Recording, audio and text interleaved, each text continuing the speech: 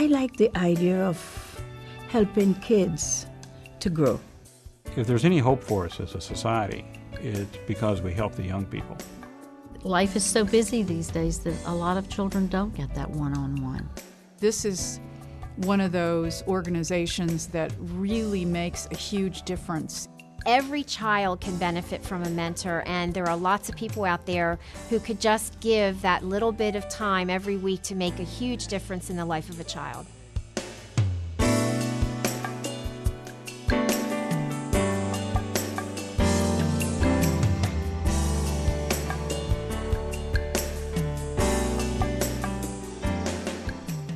Our mentoring program is uh, based on working with our children who are ages 7 to 17. They are their choristers and also their siblings. And what we're doing is we recruit adult volunteers to come in and work with our children one hour a week, one day a week during the school year. No special skills are required. Um, it's just an open heart and a willingness to make a commitment to a child for the year. It's an intense one hour, one and a half hour but you really do accomplish a lot. And once you've gotten into it, you realize how important it is for a child.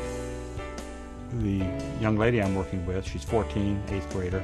Uh, she wants to be a lawyer when she grows up, uh, but she's having a little problem with mathematics. So uh, we're working on math a lot. But a lot of it's just, just talking.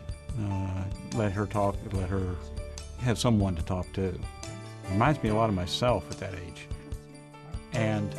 watch them develop uh, and try and impart some of the things I've had to learn, uh, this has been quite satisfying.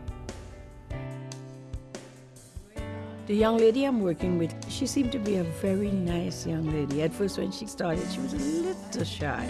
But now we have this rapport. I come every Monday evening and we meet from 5 to 6 and we go over sometimes homework, we read, we develop skills, you know.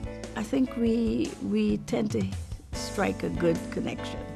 It's something I really find pleasure in doing. You know, I was very aware when I was younger and through the years, early years particularly, of people who reached out to help me and what a you know real difference that made in in my success and, and my ability to do many of the things I've done. So I, I do feel it's a priority to do that, and it's very satisfying to, to do it from a personal standpoint. Their self esteem has grown, their self confidence, their ability to tackle a problem. They're looking at career choices and where they might want to go to college. And so we have people that sit and talk to them about that and help them to live their dreams and reach their potentials.